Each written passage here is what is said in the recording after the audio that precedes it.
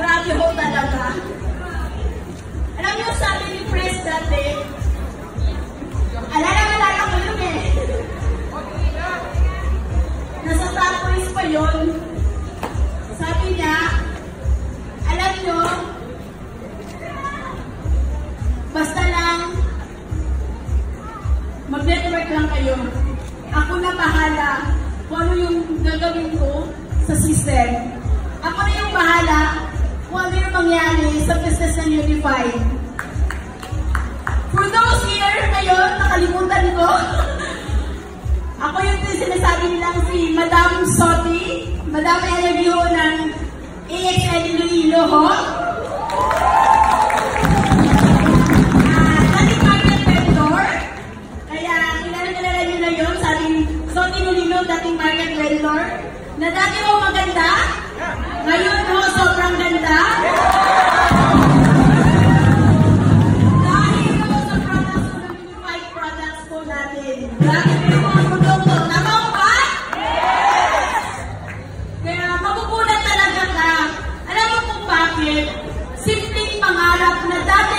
ko, gusto ko mag-networking pero gusto ko services.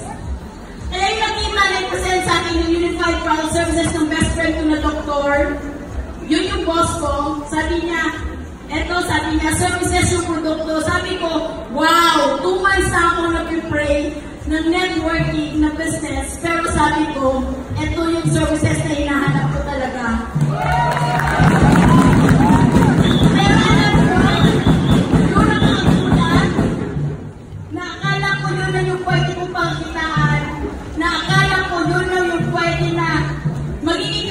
earnings ko, nasa pangarap ko sa mga pamilya ko, sana sabi ko,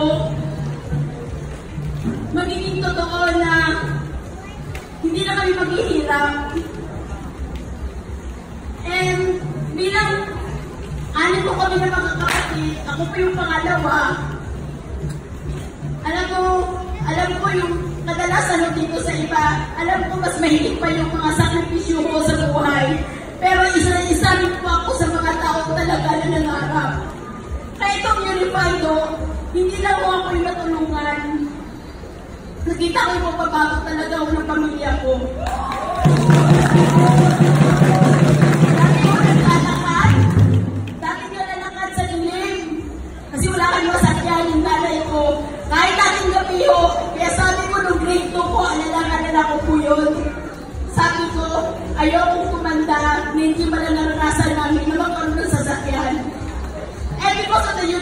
Unified ho, unti-unti hong lahat ng mga pangarap na meron kami, kalahin mo sa lahat sa amin mo na ngayon ng mga kapatid ko, grabe ho, tatlo ho kami may sasakyan ho.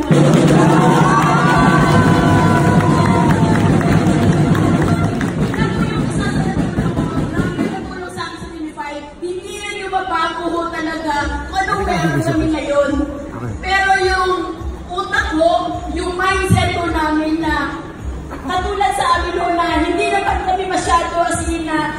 Talaga na mayroong alam, lalo na ho ako, hindi ako, maga- hindi ako magaling.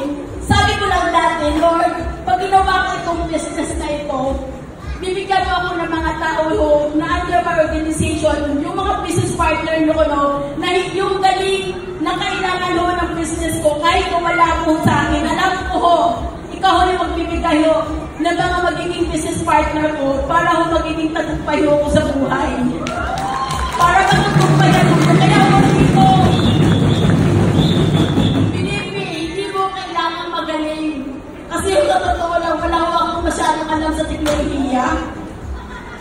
Grabe mo si Lord, pwede palakpakan siya.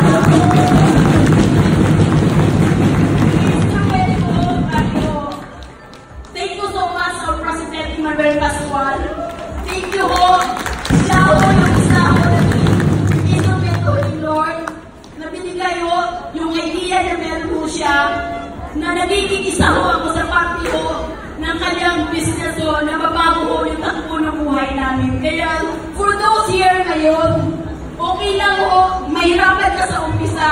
Okay lang ho na marami kang pains ngayon. Marami, okay lang ho na marami ho nag-reject sa'yo, nag-discourage sa'yo. Grabe ho yung unify. Eto kay MLM na to, grabe ho. Wala pa akong binibenta nito. Ito na po yung asin na sabi ko, sabi ni President, build ka na ng network. Yung mga tao, wonder why you decision, no? Naniwala ako sobrang lamig mo ng puto ko natin. Grabe. Nakikita ko po sa MLM, naniwala ko kayo. Hindi mo ako ako yung nagbebenta.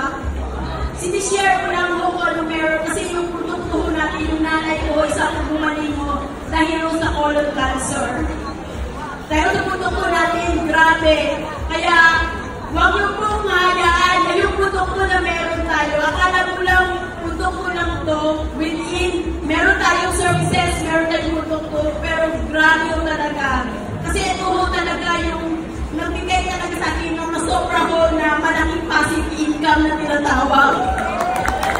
Kaya thank you sa ating grabe ho ay gusto ko rin pasalamatan nyo, ah, yung classmate ko ng high school na malaki pong support kasi kung nagkaroon kami ng hack ah, for Dr.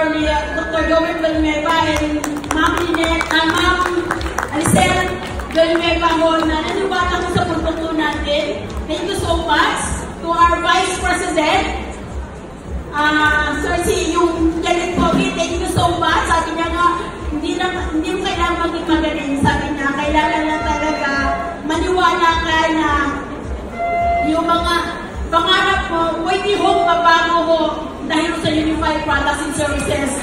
Maniwala ka sa sarili mo,